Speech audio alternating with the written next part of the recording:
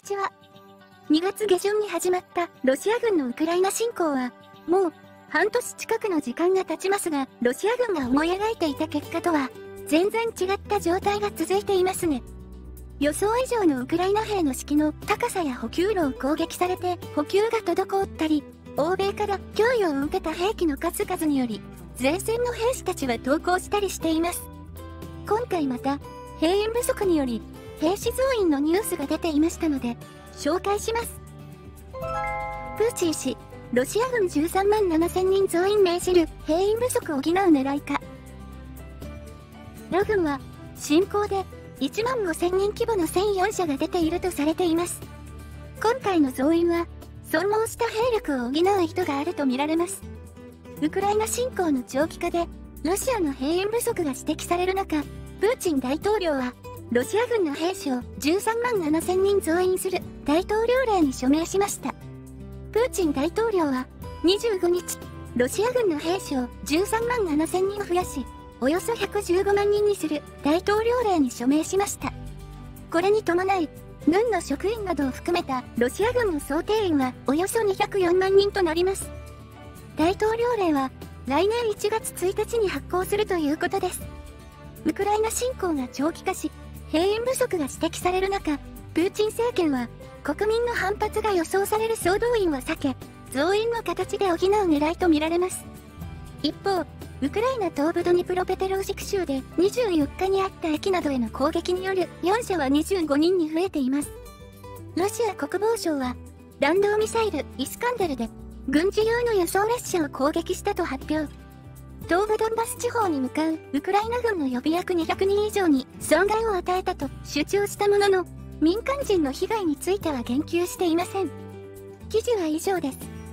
ロシアは、もともと18から40歳のロシア人と18から30歳の外国人が志願兵として契約できたように、徴兵志願者に年齢上限を設けていましたが、ロシアのプーチン大統領は、軍への入隊志願者の年齢上限を撤廃する法案に署名し、同法が成立しました。これは、長引くウクライナ侵攻で、兵士の4将や従軍拒否が増え、兵員不足が深刻になっているからと言われています。また、こんなニュースも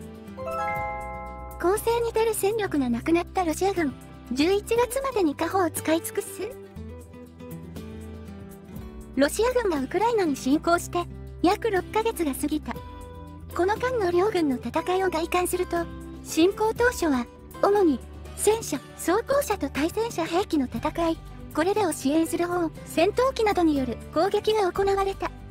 その後、次第に戦車、装甲車、戦闘機の損失が大きくなり、これらに代わって、大砲兵戦と無人機による攻撃が増してきた。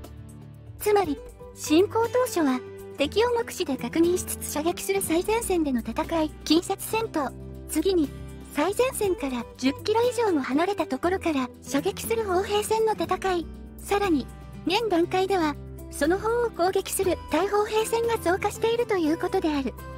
大砲兵戦には、長射程で精密誘導の砲弾や多連装ロケット、自爆型無人機が多用されている。対砲兵戦に優れるウクライナが勝ち目を見出しているようだ。とはいえ、その数は少なく、大きな戦果を得るまでは至っていない。